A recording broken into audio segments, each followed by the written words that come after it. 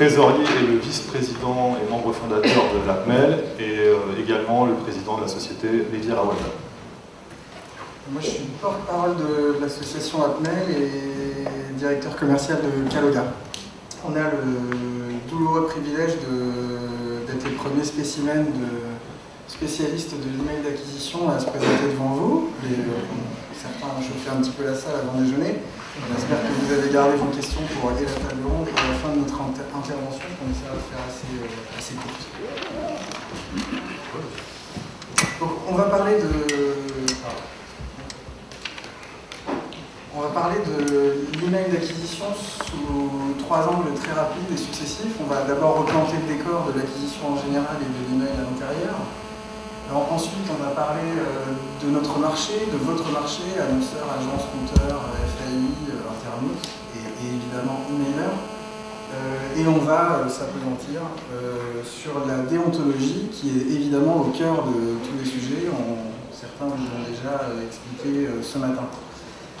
Concernant le marché, euh, euh, pardon, l'historique, euh, on, a, fait un petit rappel qui est extrêmement simpliste mais qui va bien montrer la complexification du métier d'email d'acquisition. Le web a commencé avant le millénaire précédent, avant la fin du millénaire précédent. Le web était un média, un petit peu comme le offline, c'était quelque chose sur lequel on pouvait s'amuser à faire de l'acquisition, de la visibilité, de la notoriété pas de performance, pas de tracking encore. Le modèle de performance arrive au début des années 2000 euh, avec des acteurs euh, souvent étrangers, quelques français. Euh, différents modèles de rémunération se mettent en place qui parlent peut-être aux uns et aux autres. Donc le, CPC, où on va rémunérer des clics ou des visiteurs uniques, première valeur de performance d'une campagne d'acquisition. Puis le lead, l'inscription sur un formulaire, sur un site web, puis euh, la vente payée au pourcentage du chiffre d'affaires que l'annonceur reçoit ou euh, un montant fixe euh, en euros de ce que l'annonceur veut bien payer un prestataire pour lui avoir ramené un achat effectif online. En 2002, l'email en tant qu'email d'acquisition apparaît au sein d'une nébuleuse de, leviers encore assez assez euh, légère. Euh, il reste, lui, un média de notoriété basé sur la location du plan fichier. On va y revenir un petit peu plus précisément après. En 2005, euh, le search a explosé, les comparateurs ont explosé, le display sur des sites d'audience, des carrefours d'audience, des sites verticaux a explosé. La Corège, le, le lead gen ont fait leur apparition. On a un web un marché de l'acquisition online, de conquête pour les annonceurs qui est hyper vaste par rapport à deux ans avant. Et l'email ne devient qu'une brique de, ces possibilités-là. Euh, d'autre part, on observe que les annonceurs, le marché en général, vont appuyer euh, sur la notion de performance, vont challenger les leviers un par un, et l'email va passer d'un média de stricte notoriété à un média soit de notoriété, au CPM, euh, via les brokers, via des campagnes ficelées sur lesquelles on passe beaucoup de temps et qui donc coûtent un petit peu cher, à des campagnes en parallèle, les deux vont coexister et coexistent encore aujourd'hui, des campagnes à la performance où on va rémunérer que le résultat final sans rémunérer la notoriété apportée par une campagne email auprès des Français pour, pour le compte de l'annonceur, ni les clics, visites sur site, etc., etc. On a deux écosystèmes qui commencent à se scinder et qui, il faut le reconnaître, ne se parleront plus beaucoup jusqu'à aujourd'hui. Euh, à voir apparaître, deviner euh, le monde du tout cookie dans lequel on vit encore un petit peu aujourd'hui, avec le RTB pour le display, avec le retargeting évidemment, qui consiste à réadresser une bannière pour tout le monde à quelqu'un qui est déjà venu sur le site de l'annonceur sur des sites tiers, et l'email retargeting, son jumeau euh, avec une petite euh, différence qui consiste à renvoyer un mail à quelqu'un qui a par exemple abandonné un panier sur votre site annonceur via des bases externes, les nôtres par exemple, euh, ce qui sous-entend que nous avons déjà cookisé la personne, entre guillemets, c'est-à-dire qu'elle a déjà ouvert un de nos mails au préalable qui n'est pas le mail qu'on envoie pour vous.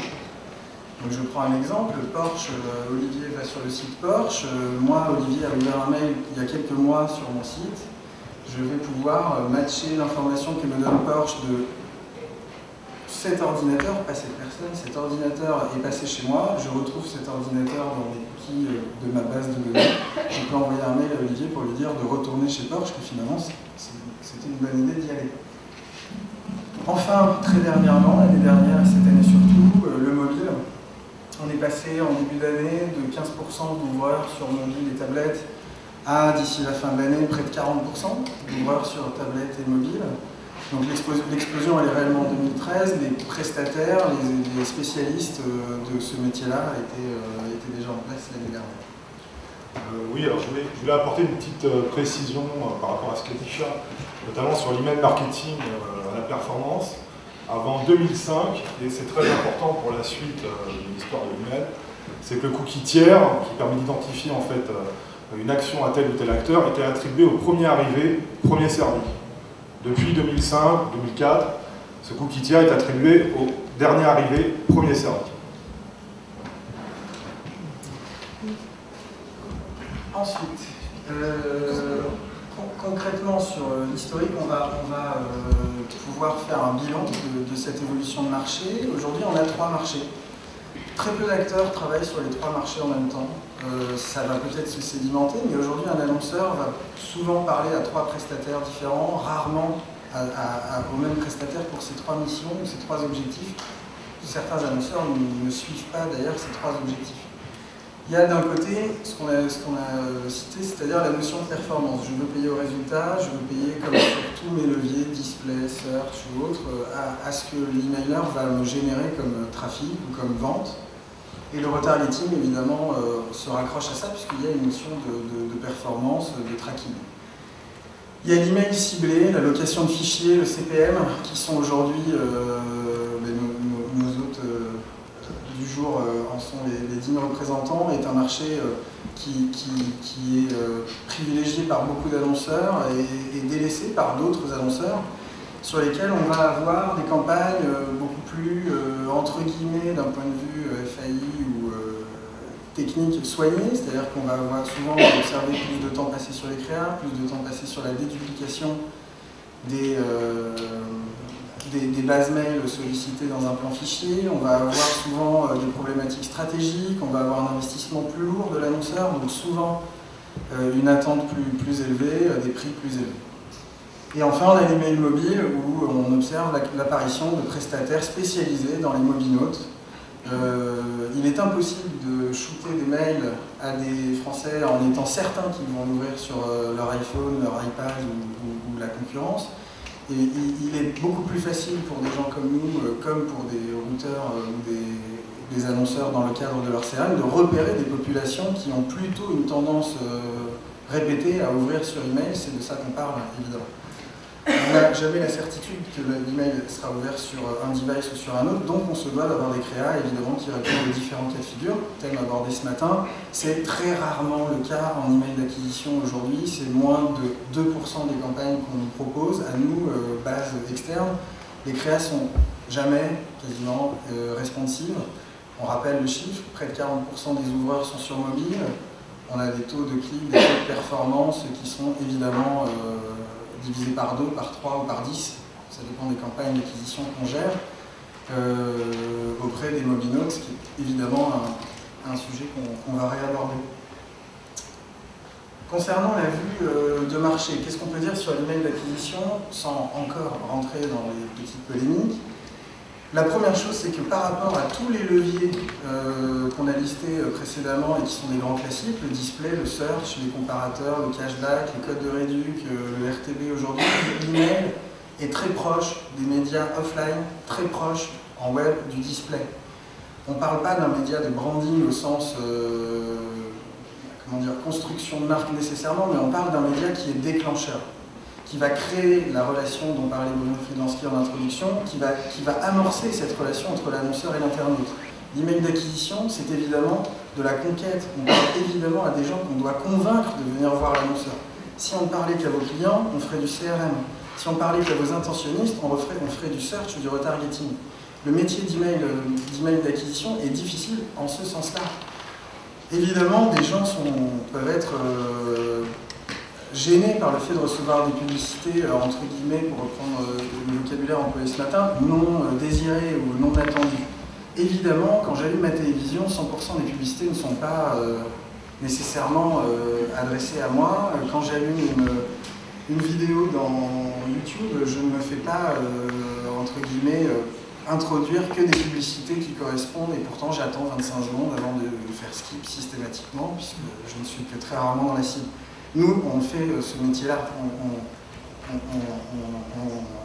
on, essaie de conquérir des gens pour, l'annonceur et c'est peut-être ce qu'il y a de plus difficile. La deuxième chose, c'est qu'on est multi-device. On disait 40% des ouvreurs sur mobile et tablette, c'est un chiffre qui va continuer d'augmenter a priori euh, dans les mois et années qui viennent. Ça va beaucoup plus vite que ce que tous les prédicteurs euh, avaient imaginé. Et on a la chance sur ce sujet du multi-device de pouvoir tracer les gens, de pouvoir les suivre, de pouvoir analyser leur comportement, ce qui est toujours quelque chose d'assez positif en marketing, notamment en acquisition de manière transversale. On est un des seuls leviers capables de savoir que quelqu'un euh, ouvre plutôt le matin euh, sur un tel, plutôt le soir sur, euh, sur tel device. C'est beaucoup plus facile de le faire pour des gens comme nous que pour des gens dans le display ou le search. Et c'est beaucoup plus facile d'adapter les politiques d'acquisition de l'annonceur selon son industrie à ces, à ces démarches-là. On, ne réagit pas pareil au mail crédit qu'à un mail automobile, qu'à un mail concernant notre foyer, notre famille, ou concernant des, trucs plus perso.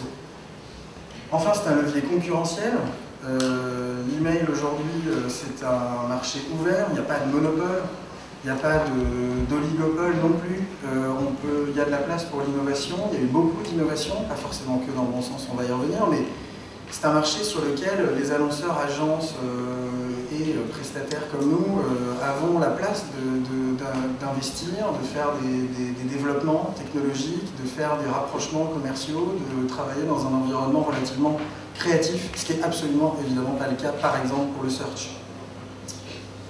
Ça c'est super, c'est l'email d'acquisition euh, tel que euh, on aimerait euh, le, connaître à chaque fois qu'on se réveille le matin. Il y a des difficultés quand même, on l'a dit ce matin, c'est un métier de plus en plus difficile. Pour répondre à une question qui a été posée ce matin, est-ce que c'est encore possible de faire de l'email d'acquisition? On vous répond tout de suite, c'est oui, hein. on est là pour, vous le dire et vous le redire. Euh, si on reprend les trois euh, sujets précédents, on est un levier très en amont de la chaîne, on va créer ce lien avec entre l'internaute et la marque. Ok. Qui finit la relation entre la marque et l'internaute? Alors nous on commence, hein. on, attrape Olivier, on lui euh, présente un e-commerçant, il ne le connaissait pas, ce qui explique qu'il n'a peut-être pas ouvert chacun des mails que je lui ai envoyés sur ce sujet-là. Mais je finis par réussir à le ramener chez l'e-commerçant. Euh, Est-ce qu'il va acheter euh, dans la seconde euh, suivant euh, l'ouverture de mon email Bien sûr que non. Olivier est un consommateur de 2013, il sait qu'il va pouvoir comparer les prix, donc il va se rendre sur les comparateurs. Il sait qu'il va pouvoir évidemment rechercher d'autres produits, il va passer par Google. Il sait qu'il va pouvoir, euh, s'il est malin, attendre quelques jours pour se faire retargeter et avoir une réduction de 10 euros. Très bien, il va passer par Criteo et, tout le panel de retargeteurs display ou email euh, d'aujourd'hui, etc., etc. Et si euh, Olivier a le bonheur ou le malheur d'être un adepte des codes de réduction ou des cashbacks, il pourra évidemment trouver sa réduction dans une communauté de cashback, de remise, de bons plans. Donc la question qui se pose aujourd'hui pour nous, c'est que comme on amorce ce travail et qu'on est, on l'a vu, dans un marché euh, mixte, à la fois de notoriété et de performance, on sait que la majorité des annonceurs sur lesquels on travaille mesurent la performance de nos campagnes, mesurent leur ROI euh, face au budget qu'ils dépensent chez nous, voire même dans le cadre euh, de, l'affiliation, de la performance, du marketing à la performance, nous payent selon cette performance. Olivier l'a expliqué, euh, aujourd'hui, la règle du jeu euh, majoritaire en France, c'est de payer au dernier clic. Ce que je viens de vous expliquer sur le chemin de consommateur d'Olivier, évidemment, c'est pas moi qui serai payé, puisque Olivier va avoir le temps, euh, en jour et en action sur Internet, de, se, de, passer par d'autres prestataires que l'emailer, 15 en moyenne. Et donc évidemment, si l'annonceur veut être très héroïste, mesuré et ne récompenser que l'action du dernier levier, levier avant la vente, euh, c'est évidemment pas l'emailer qui sera payé. Ça, c'est un gros souci aujourd'hui. Ça n'en était pas un il y a 5 ans, ça n'en était pas un il y a 10 ans. C'en est devenu un avec l'explosion des leviers qui, il faut bien le reconnaître ces dernières années, les inventions, les miracles du web euh, en France comme aux États-Unis ou en Angleterre, se situent plutôt en fin de chaîne, en fin de cycle d'achat de l'internaute et absolument pas au début, mis à part évidemment la révolution RTB sur le display. Le deuxième point, c'est que le marché est extrêmement complexe. Aujourd'hui, euh, le résultat de, cette ouverture de marché, de cette relative facilité à, gérer une base mail pendant des années, fait qu'il y a énormément de bases mail sur le marché disponibles pour des campagnes d'acquisition d'annonceurs. Est-ce qu'elles sont toutes clean? Non. Est-ce qu'elles sont toutes performantes Absolument pas. Et aujourd'hui, c'est très difficile pour une agence, pour une plateforme d'affiliation, pour un broker, pour un annonceur mais on a envie de dire également pour un routeur, un internaute, un FAI, qui en sont les, représentants, entre guillemets, dans le business, c'est très difficile de faire la part des choses. Est-ce que je récompense la marque? Donc Olivier, à la base, à la base imaginons Porsche, ah c'est super, c'est CSP+, et tout, mais si la base a une hygiène euh, pourrie ou qu'elle date de 2001, on ne fera jamais de vente. Est-ce que je récompense à ce moment-là pas la marque, mais juste la performance? Non une base tombée du camion échangée via des fichiers qui sont des pratiques vraiment très très euh, borderline, voire clairement illégales, peut être éclusée, euh, affinée, raffinée, euh, filtrée, jusqu'à en garder les actifs, et pourtant la base reste illégale, malgré le fait qu'elle soit en apparence performante d'un point de vue KPI statistique. Donc aujourd'hui c'est très compliqué. On, va finir notre présentation dans, quelques minutes sur, euh, sur le projet qu'on propose au marché aujourd'hui via notre association, mais il faut bien, comprendre que c'est délicat pour des gens clean d'être récompensés en tant que gens euh, avec des pratiques très déontologiques. C'est très difficile aussi pour des gens euh, qui sont censés y voir clair, annonceurs, agences, routeurs, FAI, de, de, récompenser donc les bons et de savoir taper sur les mauvais, quels indicateurs on prend en compte. tout ça est très très compliqué. Ce n'est pas forcément le cas, évidemment, dans d'autres secteurs du web. Enfin, le, fait qu'il doit évoluer, ça c'est euh, le résultat de deux constats qu'on fait tous, internautes professionnels. On reçoit trop de mails, euh, de la même manière qu'on pourrait recevoir trop de pubs à la télé, ce qui est un peu le cas aussi. Euh, mais au-delà de la tendance générale du marketing global multicanal, on, est conscient, nous qui en envoyons tous les jours, que les Français reçoivent trop de mails. Est-ce que ça veut dire qu'ils reçoivent trop de mails parce qu'il y a trop d'annonceurs Un peu. Il y en a beaucoup plus qu'avant, comme le disait Bruno précédemment. Est-ce que ça veut dire qu'il y a trop de bases mail d'expéditeurs, de noms, de marques de sites internet, comme Caluga, Riviera ou, nos confrères, qui envoient de la pub? C'est très certainement vrai. Est-ce que toutes ces bases qui vous envoient des mails ou qui en envoient aux internautes français devraient euh, continuer à envoyer, euh, devraient être tolérées? Non.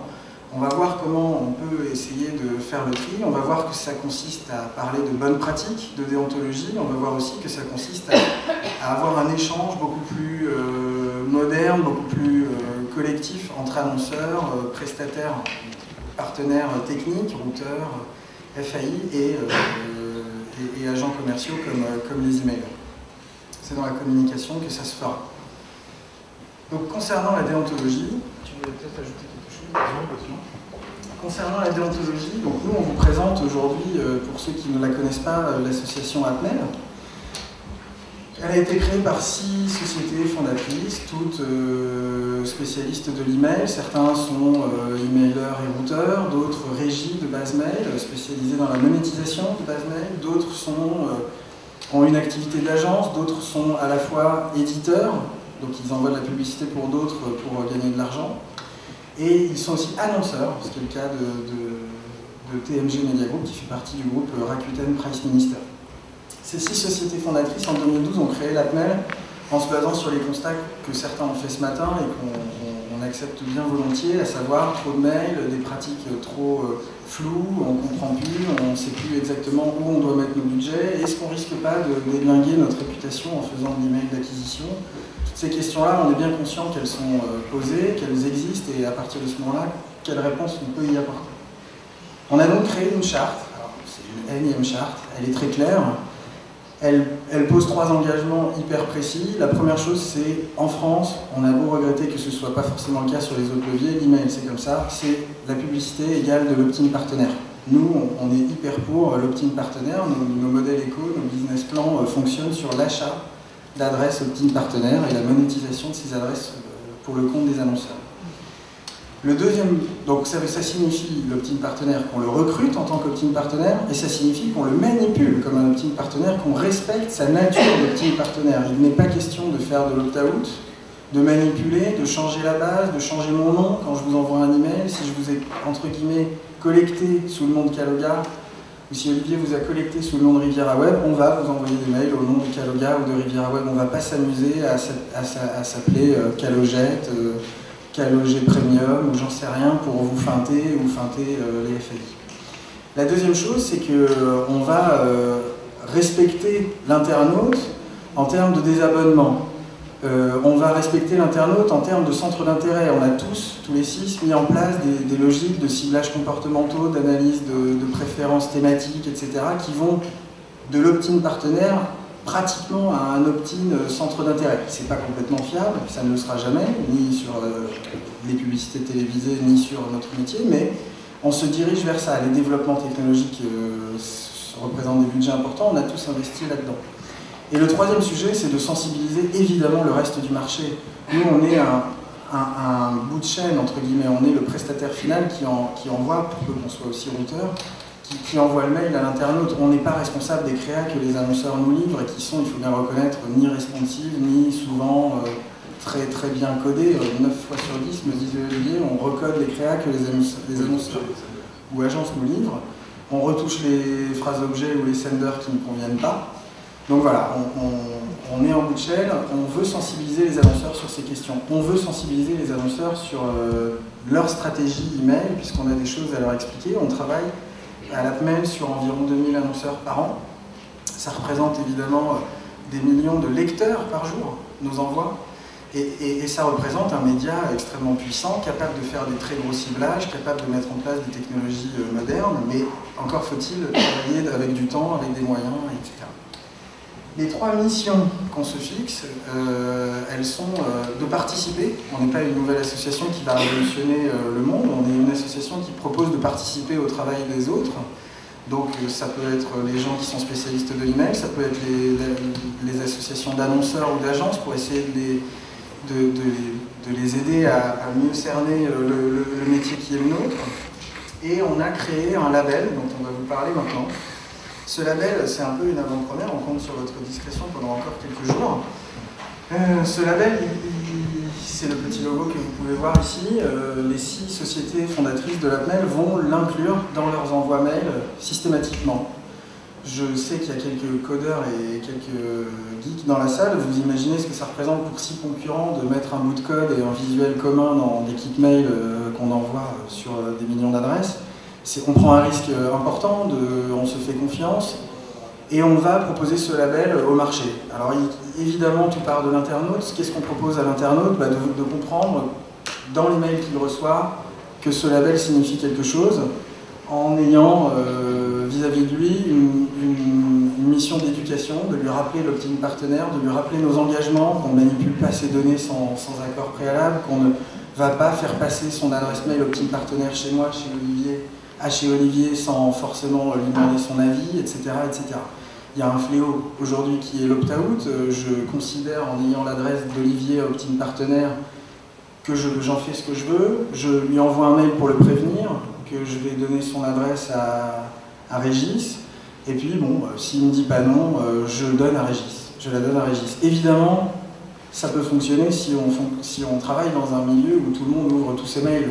On peut, on estimer que les personnes sont au courant. C'est absolument pas vrai. Aujourd'hui, les taux d'ouverture, même en CRM, sont inférieurs à, 30%. Il est irresponsable de penser que Olivier a été prévenu sous prétexte que je lui ai envoyé un mail. Nous, on prend comme base de référence le mail ouvert. Si Olivier a ouvert le mail qui le prévient qu'il va se passer quelque chose avec son adresse, là, ok, on peut estimer qu'il est au courant et euh, qu'on peut faire quelque chose. Si ce n'est pas le cas, on ne fait rien. La deuxième chose qu'on va proposer à l'internaute, c'est euh, de lui rappeler évidemment les règles. Alors on ne va pas lui donner la charte du SNCD ou de Signal Spam ou euh, de la FEVAD à lire, puisqu'il ne va pas la lire. Mais par contre, on peut, on peut vulgariser, c'est l'objectif qu'on a. La troisième chose qui est primordiale, c'est de donner la possibilité à l'internaute, et c'est une première en France, de, l'internaute qui se serait retrouvé dans nos bases, malgré le fait qu'on collecte que en meeting partenaire, qu'il y a des cases cochées systématiquement par l'internaute et pas pré-cochées, on va donner la possibilité à l'internaute de changer d'avis facilement. Les six sociétés regroupent donc leur base de désabonnement et vont, euh, sur la sollicitation d'un internaute qui est saoulé par euh, l'email publicitaire, euh, le supprimer de nos bases de données d'envoi publicitaire de manière conjointe. Là encore, c'est un vrai risque, c'est un vrai, un vrai parti pris de faire le choix de la déontologie, du respect de l'internaute. C'est le choix qu'on fait, pour l'instant on est six, on espère qu'on sera rejoint par beaucoup de gens qui ont les mêmes objectifs que nous. Et enfin, ce petit picto, ce petit visuel, il va aussi euh, être proposé au marché des agences, des annonceurs, comme une base de référence. C'est-à-dire, moi je suis un annonceur, je sais qu'en travaillant avec ces bases-là, je vais avoir un niveau de déontologie important, je vais avoir évidemment ce qui va avec, à savoir une hygiène de base, des, abos qui fonctionnent, une traçabilité des adresses, on est capable de justifier de chaque adresse qui est dans notre base de données, y compris celle qui date de 10 ans. On est capable de savoir où on les a achetés, on est capable de savoir euh, euh, à quel prix on l'a acheté, euh, sur quel site elle a été collectée. On répond à ça en 24 heures, c'est quand même extrêmement clean et extrêmement rassurant pour un marché un peu inquiet en ce moment. Les trois priorités de l'APMEL en tant qu'association, et pour être honnête avec vous, on estime que sur l'email d'acquisition, c'est un peu les priorités de tout le monde, c'est d'abord un rapprochement entre l'acquisition et la FID. Le marché de la fidélisation euh, email et, la table ronde avec nombreux routeurs euh, et un FAI ce matin l'a bien montré, euh, c'est évidemment plus facile de, gérer ou de travailler sur une base de clients que sur une base de prospection externe. La réalité, c'est qu'on ne peut pas vivre dans un monde de fidélisation seulement, parce que vous n'auriez rien à fidéliser. Donc, on est conscient il y a des choses à faire, on vient de vous expliquer quelques trucs qu'on essaie de mettre en place, mais on pense que pendant trop longtemps, le marché français a fonctionné de manière un peu bicéphale, la main gauche ne parlant pas forcément à la main droite, et les cellules en agence, en, termes de techno, de routage, en termes aussi euh, d'association, mais surtout, euh, encore une fois, chez l'annonceur, de manière très très très euh, séparée. L'équipe feed CRM ne parle pas beaucoup à l'équipe acquisition, les stratégies email, qui pourtant laissent la même empreinte chez Orange, laissent la même empreinte chez l'internaute, euh, euh, ne sont pas gérées de manière euh, conjointe ou articulée. Et ça, on pense que c'est une énorme bêtise. On est souvent taxé de nous, les professionnels de l'email d'acquisition, alors on ne prend pas personnellement pour nous, parce qu'on pense qu'il y a des gens qui, qui, sont beaucoup, beaucoup plus nuisibles que nous, mais on entend souvent ce cliché j'ai fait de l'email d'acquisition, mon CRM a été blacklisté. Moi, je, fais de l'email d'acquisition depuis 8 ans et je peux vous dire que l'inverse m'est arrivé extrêmement souvent, de shooter une campagne d'un annonceur qui en fait est blacklisté pour son CRM. C'est quelque chose dont on entend évidemment moins parler, puisque nous, on n'est pas les boîtes les plus visibles, les plus audibles, mais c'est quelque chose qui existe et qui existe de plus en plus. Euh, une base euh, mal nettoyée en CRM laisse une empreinte euh, négative chez un FAI, une campagne d'email d'acquisition avec par nature des taux de plainte peut-être plus élevés, par nature des taux d'ouverture peut-être plus faibles, ce qui est évidemment le cas de l'acquisition versus la fait des dégâts potentiellement. Un annonceur qui gère sa feed, sa base de données de manière extrêmement clean, qui travaille avec des prestataires de qualité. Je reprends ce qui a été dit ce matin euh, par, euh, je crois, euh, Jérôme la qualité des bases de données sur lesquelles un annonceur va travailler en, acquisition, c'est la même chose que la qualité de l'hygiène de sa base de données de feed. C'est le même résultat chez les FAI, c'est le même feeling chez les internautes, c'est la même réputation que vous créez. Et il faut maintenant prendre, en considération ce message. Il convient de travailler les deux choses en même temps. C'est le même métier, il est fait par des gens différents, dans des équipes peut-être différentes chez l'annonceur. On ne demande pas la révolution, on demande que les gens se parlent un tout petit peu et on peut vous garantir quand on discute avec des, annonceurs qu'il est extrêmement difficile de rencontrer les deux cellules euh, en même temps et pourtant certains d'entre nous dans la plaine, on est et emailer, donc on parle à l'acquisition, et routeur, on parle à la file. Et faire une réunion avec les deux, c'est très difficile. Je voulais préciser par rapport à ce que disait euh, euh, Charles tout de suite, c'est qu'on a eu récemment, on a pris deux nouvelles bases euh, en gestion, qui n'étaient pas des bases d'emailers, hein, l'activité de la base de données n'a pas pour être commercialisée à la source en email marketing. Pour que vous sachiez, alors ça ne fait pas plaisir aux partenaires, hein, c'est sûr, on a éliminé dès le premier envoi, c'est ce qu'on appelle nous un reclassement, c'est-à-dire qu'on vérifie la qualité des adresses et la perception qu'ont les internautes au niveau des plaintes de, la réception des sur cette base de données, on a éliminé la moitié de la base de données. Donc sur une base de données de 500 000 emails, vous en enlevez 250 000, et l'autre, elle était de 180 000 emails, on en a enlevé 80 000. Et après, vous devez prévenir votre partenaire, donc ça a quand même un impact économique, ça modifie ses business plans, etc. Mais si on ne le fait pas, euh, c'est toute la chaîne qui est blacklistée. Et ça peut même aller au-delà de, notre société, de l'annonceur ou de, nos bases de données. Ça peut, ça, peut se répandre avec des logiciels dont les, euh, dont les fournisseurs d'accès ont parlé ce matin, voilà Boostalek, qui peuvent bloquer carrément euh, sur toute une chaîne, genre sur la Poste, Orange, SFR, pour plusieurs bases de données. Voilà. Donc le, deuxième point, c'est l'élargissement. On est six fondateurs de, l'association Appel. On appelle les annonceurs et, évidemment leur base CRM euh, à, nous rejoindre puisqu'ils sont, ils sont euh, senders on appelle nos, confrères emailers à, travailler euh, avec nous au sein de l'association. La charte est publique, tout le monde sait à quoi on renonce comme mauvaise pratique, à quoi on s'engage en termes de temps et d'efforts, en termes de déontologie euh, en nous rejoignant.